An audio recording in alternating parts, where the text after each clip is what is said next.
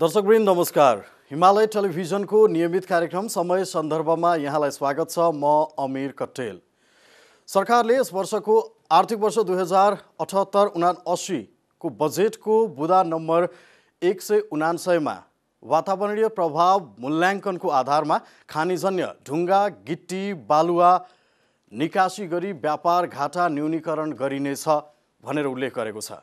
र सरकारको यो नीतिमाथि विभिन्न टिका टिप्पणी हुँदै आएका छन् तर्क वितर्क हुँदै आइरहेका छन् विरोध र समर्थनमा।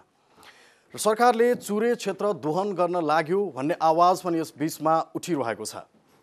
तर सरकारले भने चुरे क्षेत्रको संरक्षणमा सरकार संवेदनशील रहेको बताउँदै चुरेबाट एक डोको पनि गिट्टी बालुवा उत्खनन नगर्ने बताइरहेको छ।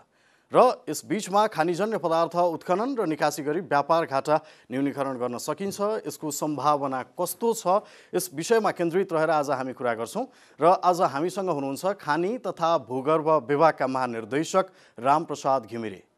घिमिरेज्यू स्वागत छ यहाँलाई कार्यक्रममा। नमस्कार धन्यवाद। जुन यो सरकारको नीति आएको छ यो खानीजन्य पदार्थ निकासी गरी व्यापार घाटा न्यूनीकरण गर्ने भनेर यसमा विभिन्न तर्क वितर्कहरू चलिरहेका छन् अहिले। खास सरकारको योजना चाहिँ के हो जस्तो लाग्छ यहाँलाई? सरकारको यसमा योजना भन्नाले के हो भने अब हामीसँग नेपालसँग खनिज सम्पदामा जुन कुरा छ एकदम अत्यन्त धेरै मात्रामा त्यो भनेको हामीसँग निर्माणमुखी खनिजन्य हो। है र हाम्रो पूर्व मेचीदेखि महाकाली नदीसम्मको भू भूभागलाई तपाईँ हेर्नुहुन्छ भने र तराईदेखि हाम्रो उच्च हिमालसम्म पनि जानुहुन्छ भने या हिमाल पारी पनि जानुहुन्छ भने हाम्रो यो निर्माणमुखी खनिजले भरिएको क्षेत्र छ। र यस्तो हामीसँग भएको यो प्राकृतिक रिसोर्सेसलाई हामीले चाहिँ युज गरेर हामी चाहिँ व्यापार घाटा कम गर्न सक्छौँ भनेको यो बहुत स्वागत योग्य विषय नै हो। र हामीसँग भएको रिसोर्सलाई युज गर्दाखेरि हामी चाहिँ मैले भन्दाखेरि चाहिँ यसले जिडिपीमा धेरै असर गर्छ भनेर म धेरै पहिलादेखि नै भन् भनि आइरहेको छु र हामीले चाहिँ मैले यहाँ तपाईँहरूलाई आँकडा दिँदाखेरि इभेन अहिले संसारको सबैभन्दा एकदम विकसित देशहरूमध्येमा चाइनाले अहिले सबैभन्दा धेरै ग्रेभल एक्सपोर्ट गरिरहेको छ। है। चाइनाको एक्सपोर्टको पर्सेन्ट वर्ल्डको क्यापासि उसकोमा टोटल एक्सपोर्ट उसमा चाहिँ बाह्र तेह्र पोइन्ट फाइभ पर्सेन्ट जति छ। त्यस्तै बालुवाको एक्सपोर्ट हेर्नुहुन्छ भने युनाइटेड स्टेट्सले सबैभन्दा धेरै एक्सपोर्ट गरिरहेको छ अहिले। वर्ल्डको उसमा सियरमा हेर्नुहुन्छ भने। र धेरै जसो युरोपियन कन्ट्रिजहरूले अहिले पनि एक्सपोर्ट्स गरिरहेछन्। यो कन्स्ट्रक्सन मेटेरियल्सहरू र मैले यहाँ धेरै कुराहरू उठेका छन्। अब हाम्रो मिडियाजहरूमा धेरै मिडियाजबाट धेरै कुरा सुन्नमा आएको छ कि यो बेच्न हुँदैन यो यसले व्यापार घाटा हुन्न यो एकदम पिनट बराबर हो भनेर भन्छन्। र मैले आँकडा दिँदाखेरि चाहिँ के भन्नु भन्छु भने अहिले हामीले चाहिँ यस्ता बयानब्बेवटा खानी आइडेन्टिफाई गरेर बसेका छौँ जसमा हामीले सबै वातावरण अध्ययन समेत गरिसकेका छौँ र यी बाहुन्नवटा खानीबाट मात्रै हामीले हजार टन हजार मिटर क्युब पर डे उत्पादन गऱ्यौँ भने पनि हामीले देशको आन्तरिक खपतलाई पूर्ति गरेर पनि हामीले चाहिँ केही मात्रामा हामीले चाहिँ निकासी गर्न सक्छौँ। र त्यति निकासी गर्दाखेरि पनि हामीलाई मैले आँकडा भन्दाखेरि अहिलेको अहिलेको बयानब्बेवटा खानीबाट हामीले हजार मिटर क्युब पर डे निकाल्यौँ भने पनि हाम्रो चाहिँ लगभग दुई लाख दुई करोड छिहत्तर लाख जति हामीले चाहिँ वार्षिक रूपमा उत्खनन गर्छौँ भने हाम्रो डिमान्ड चाहिँ लगभग दुई करोड सैँतिस लाख क्युबिक मिटरको हुन्छ र हामीले चाहिँ हामीलाई सरप्लस चाहिँ लगभग चौध पर्सेन्ट हामीसँग सरप्लस रहेको हुन्छ र त्यो हामीले चाहिँ निर्यात गर्दाखेरि पनि अहिलेको मार्केट प्राइसलाई हेर्नुहुन्छ भने पनि चौध अरबको हाराहारीमा हामीले चाहिँ निकासी गर्न सकिन्छ। र मैले यहाँलाई एउटा अर्को आँकडा दिन चाहन्छु भुटान र बङ्गलादेश बिच गत वर्ष नै एउटा सम्झौता भएछ। उहाँहरूको बिचमा चाहिँ उहाँ दुइटा कन्ट्रीको बिचमा चाहिँ अब यो ढुङ्गा गिटी बालुवाको चाहिँ एक्सपोर्टको कुराले सम्झौता भएको थियो र भुटानले अहिले अहिलेको समयमा बङ्गलादेशलाई पाँच अरब भुटानी अब आफ्नो करेन्सीमा चाहिँ पाँच अरब उहाँहरूले चाहिँ को व्यापार गर्नुहुन्छ? भुटानी करेन्सीलाई न्युम्त्रोम भन्छन्। भनेपछि अब हामी कस्तो छौँ भने पहिला पनि वाटर रिसोर्सेसलाई हामीले हामीले चाहिँ यसलाई यसको वाटर रिसोर्सलाई डेभलप गरौँ र बिजुली निकालेर एक्सपोर्ट गरौँ भन्दाखेरि पनि हामी कहाँ धेरै विरोध आयो। त्यस त्यसैमा हामी कहाँ विरोध हुँदा हुँदै त्यो त्यो भुटानले क्यास गर्यो र भुटान अहिले कहाँ जिडिपीमा कहाँ पुगिसक्यो? अहिले पनि हामी अब हामीसँग भएको रिसोर्स मेचीदेखि महाकालीसम्म पुरै र हाम्रो तराईदेखि हाम्रो हिमालसम्म पुरै कन्स्ट्रक्सन मेटेरियलले भरिएको छ।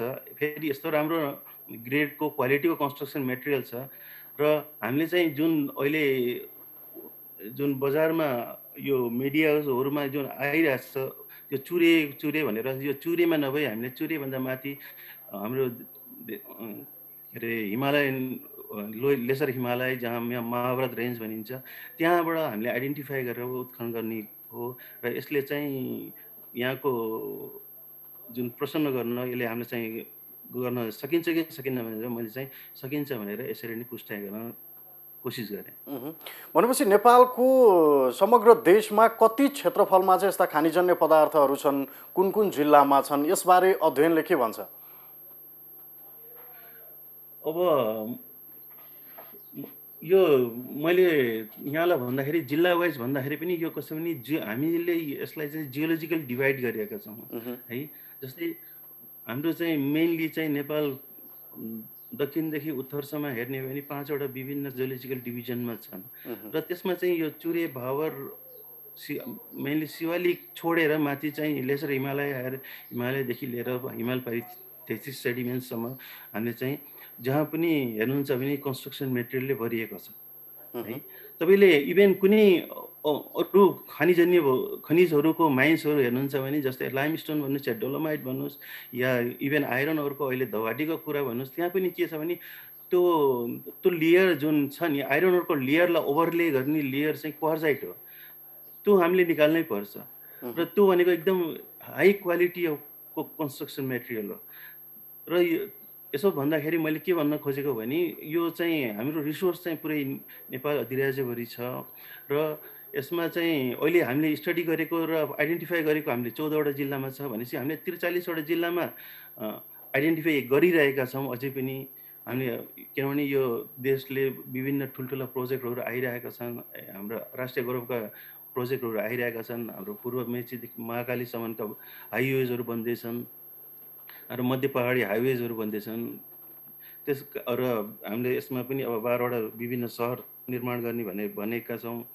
र त्यसको लागि पनि चाहिने हाम्रो कन्स्ट्रक्सन मेटेरियल चाहिन्छ भन्ने हिसाबले चाहिँ हामीले चाहिँ विभिन्न ठाउँमा चाहिँ हामीले क्षेत्रीय आधार लिएर क्षेत्रीय मार्केटहरूलाई लिएर चाहिँ हामीले अध्ययन भइरहेको छ। र म भन्न खोज्दाखेरि के भन्न चाहन्छु भने यो नेपालभरि नै हामीले चाहिँ कन्स्ट्रक्सन मेटेरियल चाहिँ हामीले चाहिँ उपलब्धता गराउन सकिन्छ। भनेपछि यो खानिजन्य पदार्थबाट अर्थतन्त्रमा योगदान चाहिँ शून्य दशमलव छ प्रतिशत रहेछ। यसलाई बढाउनको लागि के गर्नुपर्छ? प्रवर्धन गर्दै अगाडि बढ्नुपर्ने अगाडि बढ्नको लागि के गरेर चाहिँ अब आर्थिक योगदानमा अझ बढी लाभ दिन सकिन्छ? यहाँलाई मैले भनौँ साठीको दशकमा हाम्रो खनिजन्य पदार्थबाट जिडिपीकोमा योगदान जिरो पोइन्ट फोर पर्सेन्ट थियो। त्यसपछि हामीसँग जब यो सिमेन्ट हामीले चाहिँ लाइमस्टोन एक्सट्रक्सन गरेर सिमेन्ट इन्डस्ट्री खडा खडा गऱ्यौँ र सिमेन्टमा हाम्रो चाहिँ लगभग एट्टी पर्सेन्ट र मेटेरियल लाइमस्टोन हो चुनढुङ्गा हो है। त्यो हाम्रो आफ्नै निजी स्रोत भयो र अरू पनि त्यसमा हाम्रो चाहिँ सिमेन्ट प्रोडक्सनमा युज हुने एउटा चाहिँ अ, रेड क्ले पनि हामी कहीँ नेपालमै छ। हामीले चाहिँ बोक्साइड बोक्साइड र जिप्सम मात्रै बाहिरबाट इम्पोर्ट गर्छौँ र कोइला हामी बाहिरबाट इम्पोर्ट गर्छौँ। है र हामीले यति गर्दाखेरि पनि हाम्रो अहिले जुन सिमेन्टमा हामी आत्मनिर्भर हुँदै गइरहेका छौँ त्यसले गर्दाखेरि पनि हाम्रो जिरो पोइन्ट टू पर्सेन्ट चाहिँ बढिसकेको छ जिडिपीमा। है र त्यस्तै हामीसँग अहिले यहाँ भएको भरपुर यो जुन कन्स्ट्रक्सन मेटेरियल छ यसलाई चाहिँ हामीले चाहिँ अब पर्यावरण हिसाबले चाहिँ यसलाई सेफगार्ड गर्दै है इन्भाइरोमेन्टली सस्टेनेबल बनाउँदै हामीले चाहिँ यसलाई उत्खनन र त्यसपछि निर्यात गर्न सक्यो भने यसले चाहिँ अब धेरै नै हाम्रो चाहिँ जिडिपीमा चाहिँ यसले कन्ट्रिब्युसन गर्छ भन्ने कुरा चाहिँ मैले चाहिँ विश्वास लिन्छु। अनि यो नदीजन्य पदार्थ र खानीजन्य पदार्थ भनेर भनिएको छ दुईवटा कुरा। नेपालमा चाहिँ खानीजन्य पदार्थ बढी छ कि नदीजन्य पदार्थ बढी छ? यो निकासी गर्दाखेरि बढी लाभ चाहिँ हामी केबाट लिन सक्छौँ? कोर्स तपाईँलाई मैले अब डाटा त यहाँ देखाउन मिलेन होइन? तपाईँलाई मैले के भन्छु भने हामीले चाहिँ अध्ययन गरेका छौँ कि यो यस विषयमा पनि। खानीजन्यबाट कति अब खा र नदीजन्य भने अब एउटा कुरा के भन्छु भने खानीजन्यको हामीले पर हेक्टरको उत्पादन हेऱ्यौँ र खोलाजन्यबाट पर हेक्टरको उत्पादन हेर्दाखेरि खोलाजन्यबाट हामीले जि zero point two lakh metre cube per hectare देखिन्छ भने खानीजन्यबाट हाम्रो चाहिँ अब त्यो ठाउँ हेरेर स्पेसिफिक हेरेर लगभग थ्री फोर फाइभसम्म पुगेको छ पर हेक्टर है भनेपछि कहीँ धेरै गुणा हामी खानीजन्यबाट हामी उपलब्ध गराउन सक्छौँ। प्लस एउटा कुरा अर्को कुरा पनि यहाँ के छ भने हाम्रो हाम्रो नेपालको प्रोफाइल हेर्नुहुन्छ भने हाम्रो दक्षिणदेखि उत्तरसम्मको प्रोफाइल हेर्नुहुन्छ भने अब असी मिटरदेखि लिएर हामी आठ सय अडचालिस मिटरसम्म छौँ। आठ हजार आठ सय अडचालिस मिटर्सको हाइटमा छौँ। र यो ग्रेजुएन्टले गर्दाखेरि हामी हिम हिमालयबाट आउने नदीहरू भए त्यति हाम्रो लेसर हिमालयबाट बग्ने नदी भए त्यस्तै हाम्रो चुरे भावरबाट ओरिजिनेट हुने नदी भए यो सबैको ग्रेजुएन्ट हेर्नुहोस् त कति हाई छ। र यसले गर्दाखेरि हामी कहाँ जब मनसुनी बर्खा हुन्छ या हुन्छ हामी यी यी खोला नालाहरूले यति सिल्टेसन बोकेर ल्याउँछन् है। र त्यो सिल्टेसनले गर्दाखेरि हाम्रा जब यो तराईको समतल भूमिमा आउँछ त्यो त्यहाँ डिपोजिसन हुन थाल्छ। यो- डिपोजिसन तपाईँहरूले यहाँहरूले पनि हेर्न सक्नुहुन्छ हाम्रो चाहिँ लगभग बोर्डरसम्म पुगेको छ। अब यता हाम्रो भावर क्षे क्षेत्रमा चाहिँ बेसिकली एकदम ठुलो ठुलो ढुङ्गाहरू रोकिन्छन् भने अब सिल्ट गएर या ऊ गएर हाम्रो बोर्डर बोर्डर पारिसम्म पनि पुगेका छन् सानसाना पेबल्स बोल्डर्सहरू है। अब यो चाहिँ डिपोजिसनलाई हामीले चाहिँ त्यत्तिकै छोडिदिने हो भने चाहिँ यो त हरेक वर्ष डिपोजिसन हुँदै जान्छ। अर्को वर्षको फ्लो आउँदाखेरि चाहिँ त्य- त्यसले के गर्छ भने आफ्नो ऊ चाहिँ लोल्यान्ड खोज्दै हिँड्छ त्यो नदीले पानीले। लोल्यान्ड खोज्दै के हुन्छ भने तपाईँ यहाँहरूले अहिले पनि हेर्न सक्नुहुन्छ हाम्रो उदयपुरमा पनि हेर्न सक्नुहुन्छ त्यहाँ बस्तीभन्दा माथि खोला बगिरहेछ अहिले। भनेपछि त्यो चाहिँ हाम्रो पछि गएर त्यो त्यो खोला चाहिँ त्यो बस्तीमा पस्छ। अनि बस्तीमा त्यो लगेर डिपोजिसन गर्न थाल्छ। र कति हाम्रो जनधनको नोक्सान हुन्छ।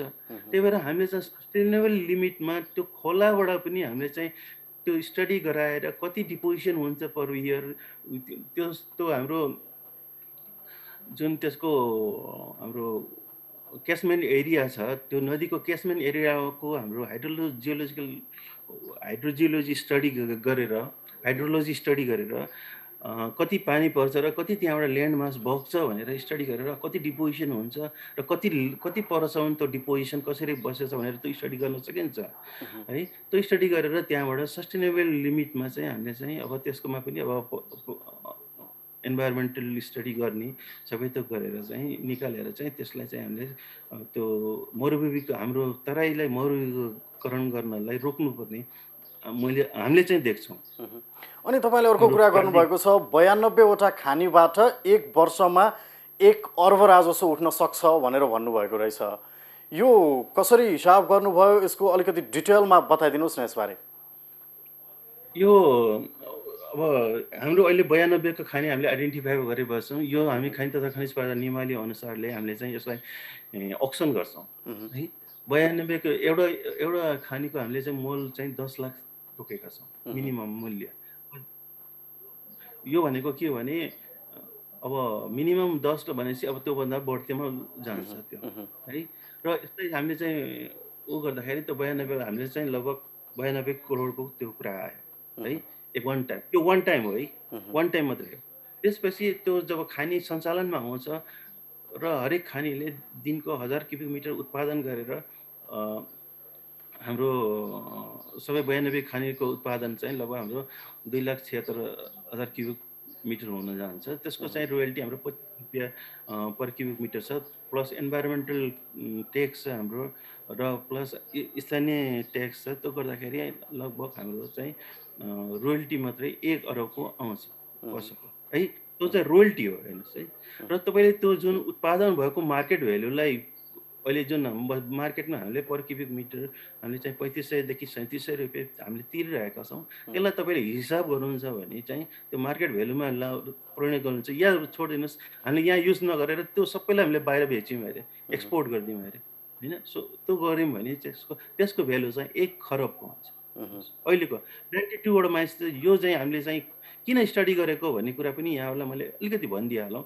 यो नाइन्टी टूबाट माइन्स चाहिँ हामीले चाहिँ पहिला चाहिँ के भइदियो भने साठीको दशकमा अलिकति इन्डियामा इन्डियाको नर्दन पार्टमा चाहिँ धेरै इन्फ्रास्ट्रक्चर डेभलपमेन्ट हुँदाखेरि मतलब त्यहाँ धेरै एक्सप्रेस वे हाइवेजहरू ठुल्ठुला बन् बन्न थाले। भन्दाखेरि चाहिँ डिमान्ड धेरै भएकोले नेपालबाट उहाँहरूले चाहिँ नेपालबाट पनि एक्सपोर्ट हुन थाल्यो र त्यतिर त्यतिखेर एक्सपोर्ट हुन्थ्यो। र त्यति हुँदाखेरि के भयो भने हाम्रो अब यो व्यापारी साथीहरूले चाहिँ अलिकति बढ्ता दोहन गर्न थाले। अब अब इलिगल माइनिङ पनि हुन थाल्यो इलिगल एक्सट्रक्सन पनि हुन थाल्यो। तपाईँ कहाँबाट भयो भने चाहिँ त्यही खोला नालाबाट जुन हाम्रो तराईमा भएको खोला नालाबाट अत्याधिक हुन थाल्यो र त्यसमा युएन क्राई धेरै भइसकेपछि विभिन्न समयमा विभिन्न निर्णयहरू नेपाल सरकार या सर्व सर्वोच्च अदालत हाम्रो संसद पार्लियामेन्टबाट यो प्राकृतिक स्रोत तथा समितिबाट पनि भयो। अब हिजो अस्ति पनि न्युजमा आइरहेको छ हाम्रो चन्द्रमोहन जोशी अनि चन्द्रमोहन जोशीजीको अध्यक्षतामा भएको थियो। र यसले विभिन्न निर्णय गर्दै सर्वोच्च अदालतले चाहिँ सैसठी सालमा चाहिँ यो यो सबै इलिगल उत्खननहरू रोक्न र निकासी बन्द गर्न भनेर निर्देशन गरियो। त्यसपछि प्रकृति स्रोतको सिफारिसले पनि त्यही भनेर मध्यकालीन र दीर्घकालीन लङ टर्म प्लानहरू बनाएर ल्याऊ र त्यो अनुसार कार्य गर भनेर निर्देशन भयो र यही यही क्रममा अब त्यसमा क्रसरहरू मे मेन मापदण्ड विपरीतका क्रसरहरू सञ्चालनमा थिए। लगभग पाँच सय असीवटा क्रसरमा लगभग पाँच सय तिसवटा क्रसर त त्यो मापदण्डमा पर्दैन थिए। है भनेपछि त्यो त्यो क्रसरहरूलाई मापदण्डभित्र ल्याउन र तिनीहरूलाई चाहिँ खानीमा खानी बेसमा लगेर तिनीहरूलाई स्थानान्तरण गर्नको लागि यो निर्णय भएको थियो र हामीलाई चाहिँ छ महिनाको टाइम पिरियड दिएर खानी तथा भू भूगर्भ विभागलाई छ महिनाको टाइम पिरियडमा चाहिँ यो खानीहरू आइडेन्टिफाई गर्न भनेको थियो। र तत्कालीन समयमा हामीले चाहिँ त्यो छ महिनाको पिरियडमा बयानब्बे खानी आइडेन्टिफाई गरेको कुरा हो। र प्लस हामीले अरू त्रिचालिसवटा जिल्लामा पनि हामीले चाहिँ अध्ययन कार्य अझै पनि भइरहेको छ। र हामीले चाहिँ नदीजन्यको पनि अध्ययन गरिरहेको छ। अब तपाईँले भन्नुहुन्छ भने सिन्धुलीबाट बग्ने मेरिन खोला जो आएर बागमतीमा मिसिन्छ त्यो अहिले जुन मन्दर भण्डारी हाइवे बनिरहेको छ त्यसको साइडबाट। त्यहाँ हेर्नुहुन्छ भने यति ठुलो डिपोजिसन छ यति ठुलो डिपोजिसन छ त्यसलाई हामीले युज गऱ्यौँ भने त्यो त माथि माथि बढेर गाउँ पस्न थालिसक्यो। यस्तै धेरै कुरोमा हामीले गरेका छौँ स्टडी चाहिँ होइन कति निक्लिन सकिन् सकिन्छ भनेर। त्यो हामीसँग रेकर्डेड छ। भनेपछि नेपालको अहिलेको अवस्था हेर्दा वार्षिक कति माग छ यो नदीजन्य पदार्थको ढुङ्गा गिटी बालुवाको माग चाहिँ कस्तो छ? नदीजन्य चाहिँ म भन्दिनँ होइन? कन्स्ट्रक्सन अब यो निर्माणमुखी निर्माणमुखी जुन कन्स्ट्रक्सन मेटेरियलहरू छन् त्यसको माग चाहिँ अहिलेको अहिलेको हाम्रो हामीले चाहिँ एउटा मो मोटामोटी हिसाब गर्दाखेरि के देखिन्छ भने अहिले हामीले चाहिँ यसलाई कसरी लिङ्क गर्छ भने अब नेपालमा सिमेन्टको कन्जम्सन कति भइरहेको छ र त्यसको त्यसको आधारमा चाहिँ हामीलाई चाहिँ त्यो कन्स्ट्रक्सन मेटेरियल कति चाहिन्छ प्लस त्योभन्दा बाहेक पनि अरू पनि हामीलाई चाहिँ विभिन्न बेसमा युज गर्नको लागि कन्स्ट्रक्सन मेटेरियलहरू चाहिन्छ। त्यसलाई हिसाब गर्दाखेरि हाम्रो चाहिँ लगभग त्यही हो साढे दुई करोड मिटर क्युब जति हामीलाई अहिले चाहिँ आवश्यक देखिन्छ। तर यो चाहिँ हामीले चाहिँ मोटामोटी हिसाब गरेर यो चाहिँ अब हाम्रो यसको मेन आकलन चाहिँ अब हाम्रो अरू यो जुन हाम्रो इन्फ्रास्ट्रक्चर डेभलप मिनिस्ट्रिजहरू छन् उहाँहरूबाट चाहिँ डिमान्ड कति छ धेरै छ त्यहाँबाट नै अनि यो नदीजन्य पदार्थ उत्खनन गर्दाखेरि जथाभावी एक्साभे एक्साभेटर प्रयोग गर्ने अनि उत्खननको लागि अध्ययन अनुसन्धान बिना जथाभावी उत्खनन गरिदिने। यसले गर्दाखेरि पुल पुलेसा लगायत बस्ती नै जोखिममा पनि परेका छन्। कतिपय ठाउँमा अत्याधिक दोहनका कारण जोखिम भएको छ कतिपय ठाउँमा भने ढुङ्गा बालुवा बढी थुप्रिएर पनि वातावरणमा त्यसले प्रभाव पार्ने देखिन्छ। यसलाई समग्र रूपमा व्यवस्थापन गरेर अगाडि बढ्न चाहिँ के गर्नुपर्छ जस्तो लाग्छ? मैले अघि नै भनिसकेँ नि अब यसलाई चाहिँ हामीले चाहिँ त्यसको रिभर प्रोफाइललाई अध्ययन गराएर त्यो रिभरको भनेपछि त्यसको क्याचमेन्ट एरियामा कति त्यसको रेनफल हुन्छ एक वर्षमा मोटामोटी हिसाबले हामीले हाम्रो डिपार्टमेन्ट हाइड्रोलोजी मेट्रोलोजीबाट त्यो डाटा लिन सकिन्छ र त्यसले गर्दाखेरि कति कति त्यहाँको डिस्चार्ज हुन्छ त्यो खोलामा है ती खोलाहरू खोलाको डिस्चार्जले कति त्यहाँको त्यहाँ सिल्टेसनहरू बगाएर ल्याउँछ भन्ने कुरा हामीले चाहिँ धेरै खोलामा हामीले स्टोसिक जस्तै हाम्रो कुनै हाइड्रो पावर ड्याम बनाउँदैछौँ भने पनि त्यो यो स्टडिजहरू भइरहेका हुन्छन्। किनभने ड्याम बनायो भने पनि त्यसको माथिपट्टि हरेक वर्ष आएको सिल्टेसन थुप्रिन्छ र त्यसलाई ड्रेजिङ गरेर निकालिने गरिन्छ। त्यही भएर हामीले चाहिँ यो अध्ययन गर्न कुनै हामीलाई ऊ छैन। हामीले यो अध्ययन गराउन सक्छौँ। र त्यो डिपोजिसनलाई हेरेर चाहिँ त्यसको हामीले सस्टेनेबल लिमिट मा हामीले चाहिँ हरेक वर्ष त्यो यति थुप्रिन्छ भनौँ न एक हजार मिटर क्युब थुप्रिन्छ एउटा खोलामा भनेपछि त्यो स्ट्रेस कति स्ट्रेसमा थुप्रिन्छ त्यो। त्यो रिभरको स्ट्रेसमा जहाँबाट त्यो पाहाडबाट तल झर्ने बित्तिकै त्यो जब फुक्छ त्यो कति कति वाइड र कति लेन्थमा चाहिँ त्यो थुप्रिएको छ त्यसलाई चाहिँ हामीले कति मिटर थिक एक मिटर हुनसक्छ या हाफ मिटर हुनसक्छ या कति कुनै ठाउँमा दुई मिटर हुनसक्छ।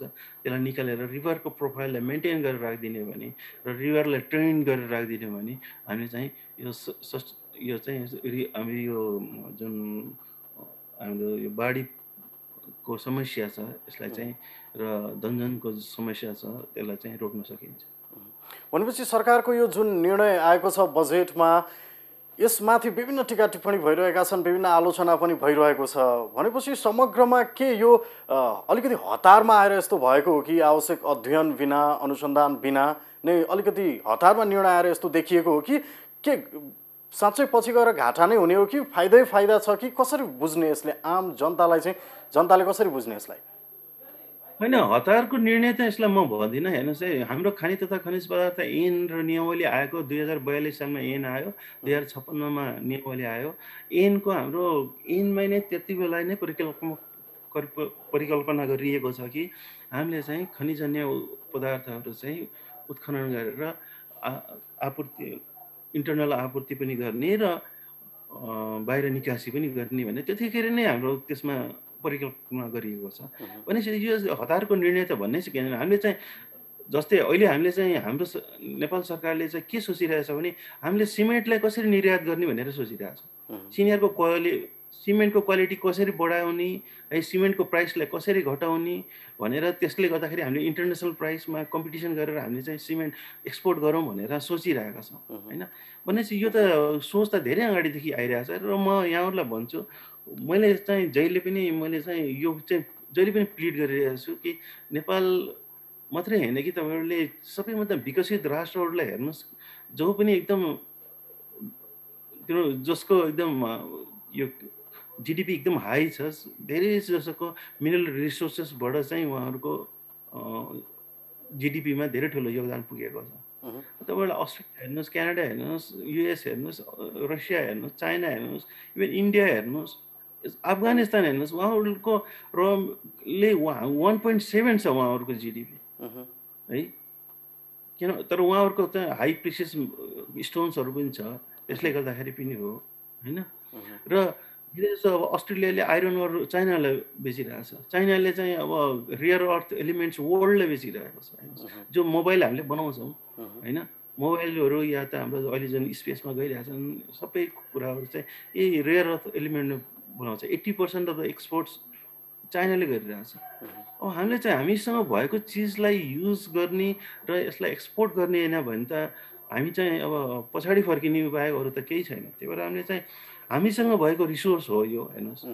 हामी चाहिँ जहिले पनि हामी चाहिँ हामी कहाँ अलिकति यो अलिकति पोलिटिसाइज हुन्छ जे कुरा पनि। अब अलिकति रियालिटीमा पनि आउनुपर्छ भन्छु कि।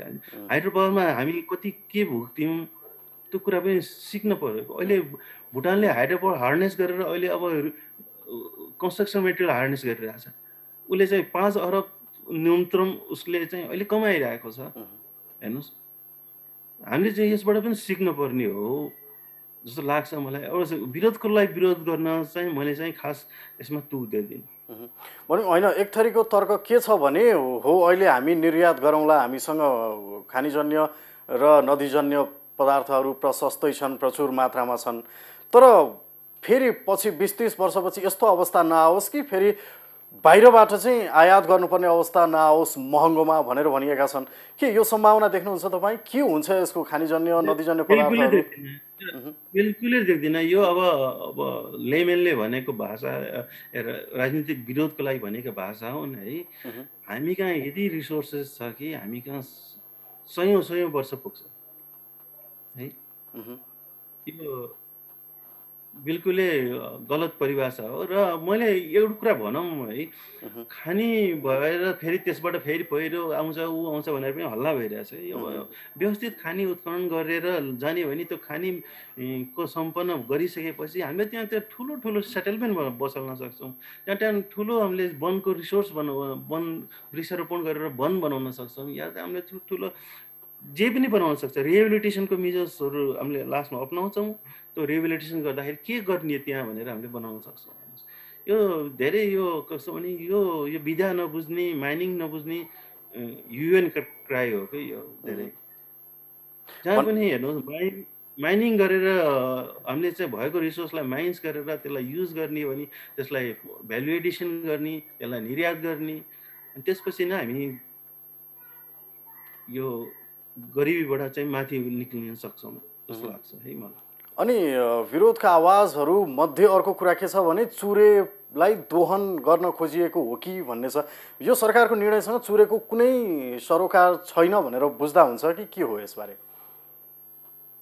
होइन चुरेसँग सरोकार छ। यो निर्णयले चुरेलाई जगाउनको लागि हो। किनभने तपाईँलाई कन्स्ट्रक्सन मेटेरियलको आपूर्ति त गर्नै पर्यो नि कतैबाट। यत्रो घर बिल्डिङहरू बनिरहेछन् यत्रो बाटाघाटा बनिरहेछन् एयरपोर्ट बनिरहेछ। है हाम्रो फोर लेनको बाटोहरू बन्दै अहिले हाइवेजहरू बन्दैछन् पूर्व हाम्रो जुन महेन्द्र हाइवे जुन छ है फोर लेन बनाउने भन्ने घोषणा गरिरहेछन्। विभिन्न जिल्लाका सदरमुकामहरूमा बाटाहरू बना टु लेन्स बाटा बनाउने भनेर घोषणा गरिएको छ। यिनको लागि त कन्स्ट्रक्सन मेटेरियल चाहियो नि त। तपाईँहरूले मा चुरे के अरे महाभारतबाट गर्ने हो भने त कहाँबाट त्यो कन्स्ट्रक्सन मेटेरियल त त्यही खोला नालाबाट झिक्न थाल्छन् हेर्नुहोस्। मान्छेले। अहिले पनि त्यसै भएर आइ आइरहेको छ धेरै ठाउँमा हेर्दाखेरि। उहुँ। त्यही भएर त्यसलाई जोगाउनको लागि यो चुरीलाई जोगाउनको लागि त्यो त्यहाँबाट जुन सप्लाई पूर्ति भइरहेको छ त्यसलाई चाहिँ अब हामी महाभारतबाट पूर्ति गर- गरेको खण्डमा त चुरे त जोगिन्छ। त्यो- त्यसमा रिलेसन छ। चुरेलाई जोगाउन नै यो उहुँ।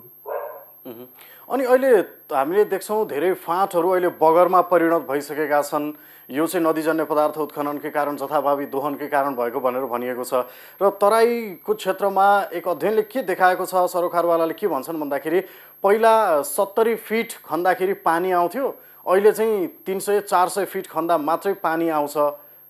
त्यो नलमा धारामा भनेर पनि सरकारवालाले बताएका छन्। यसको चाहिँ त्यो दोहनका कारण यो भएको हो। यसलाई चाहिँ व्यवस्थित गर्नु त पर्ला नि त। यसको लागि अध्ययन नभएको हो जथाभावी दोहन भएको हो। यसलाई चाहिँ कसरी नियन्त्रण गर्ने? यस विषयमा अब म हामी त यस त्यो पानीको लेभलको अध्ययन चाहिँ हामी चाहिँ गर्दैनौँ। यो चाहिँ डिपार्ट हाम्रो मिनिस्ट्री अफ तर असर नदीजन्य पदार्थ उत्खननको असर त्यसरी देखिएको छ। त्यसलाई पनि त नियन्त्रण गर्नु पर्यो व्यवस्थापन गर्नु पर्यो भन्ने कुरा म भन्दैछु। म भन्दैछु यस विषयमा। के छ भने अहिले हामीसँग राष्ट्रिय योजना आयोगको माननीय सदस्यज्यूले अस्ति भर्खर यो हाम्रो नेपेसको कार्यक्रममा पनि यो कुरा राख्न आएको थियो कि हामीसँग तराईमा चाहिँ डिप के अरे हाइड्रोलोजिकल स्टडीको लागि विभिन्न बाइसवटा स्टेसनहरू राखिएका छन् जसले के देखाइरहेछ भने विगत बिस वर्षदेखि हालसम्म हाम्रो चाहिँ डिप वाटरको एक्युफेयर लेभलमा कुनै फरक परेको छैन। हो सेलो वाटर लेभलमा चाहिँ फरक परेको छ। है? सेलो वाटर लेभलमा चाहिँ विभिन्न अब मैले यहाँलाई एउटा कुरा राखौँ त्यो खालि यो खनि के अरे उत्खनन गरेर भएको हो कि या चाहिँ हाम्रो सेटलमेन्टले पनि भएको पहिला पाँच हजार बस्ती पाँच हजारको बस्ती हुनेमा अहिले पाँच लाखको बस्ती भए बस बसिरहेका छन्। त्यही जनकपुरमा हेर्नुहोस् बिस वर्ष अगाडि कति जनसङ्ख्या थिए र अहिले कति जनसङ्ख्या छ। पछि अनि त्यहाँ पहिले पाँच हजार ट्युबवेल थियो सेलो ट्युबवेल थियो भने अहिले चाहिँ लगभग पचास हजारको ट्युबवेलहरू होलान् है। अब यसले गर्दाखेरि चाहिँ यो पनि एउटा कारण हो। प्लस अर्को कारण के हो भने चुरे रेन्जमा जति पनि हाम्रो पहिला पहिला चाहिँ बस्तीहरू थिएनन् है। र बस्ती पनि एकदम एकदम ऊ बस्ती एकदम छरिएर रहेको एकदम घना बस्ती थिएनन्। पछि पछि हुँदा हुँदा अहिले आएर त्यहाँ पनि घना बस्तीहरू हुन थाले। त्यसले गर्दाखेरि तिनीहरूको जीवको लागि चाहिने जुन घाँस दाउरा र ग्रेजिङको लागि जुन जुन उहाँहरूले रेज गर्ने क्याटल्सहरूलाई जुन रेज गर्दाखेरि त्यो ओभर ग्रेजिङ हुने र त्यस अनुसारले चाहिँ त्यहाँ रुख कटान हुनेदेखि लिएर सब थोकका यो सबै थोकको कारण पनि त्यो हुनसक्छ। त्यो सेलो वाटर लेभल घट्नु। प्लस हाम्रो अहिले चाहिँ हाम्रो पपुलेसन डेन्सिटी पनि यति आयो कि हामीले चाहिँ त्यहीँबाट पनि जे धेरै दोहन गर्न थाल्यौँ पानीको। त्यसरी पनि हुनसक्छ तर यो चाहिँ मेरो स्टडीको कुरा होइन है। मैले चाहिँ यो मैले प्राप्त गरेको ज्ञान जुन सुनेर प्राप्त गरेको ज्ञानलाई मैले यहाँ क्वेसन पनि त्यस्तै आएकोले मैले राखेँ। हस् समय सकिएको छ। यहाँको अमूल्य समय र विचारको लागि धेरै धेरै धन्यवाद। यहाँलाई पनि धेरै धेरै धन्यवाद। हिमालय टिभी टेलिभिजनलाई आज मलाई चाहिँ खानी तथा बुरुवाको तर्फबाट चाहिँ हाम्रो चाहिँ यो धुवागिटी बालुवाको उत्खनन तथा निकासीको बारेमा के तथ्यपरक कुराहरू राख्न दिनुभएकोमा र सुनिरहेका श्रोताहरूमा पनि हार्दिक धन्यवाद दिन चाहन्छु। धन्यवाद। हस्। दर्शकवृन्द आज हामीले कुरा गऱ्यौँ नेपाल सरकारले प्रस्तुत गरेको बजेटमा वातावरणीय प्रभावको मूल्याङ्कन गरेर नदीजन्य खानीजन्य ढुङ्गा गिटी बालुवा निकासी गरी व्यापार घाटा न्यूनीकरण गर्ने भन्ने निर्णयमा केन्द्रित रहेर खानी तथा भूगर्भ विभागका महानिर्देशक रामप्रसाद घिमिरेसँग कुराकानी गऱ्यौँ आजको लागि समय सन्दर्भको समय सकिएको छ। हिमालय टेलिभिजन तपाईँ हेर्दै गर्नुहोला। नमस्ते।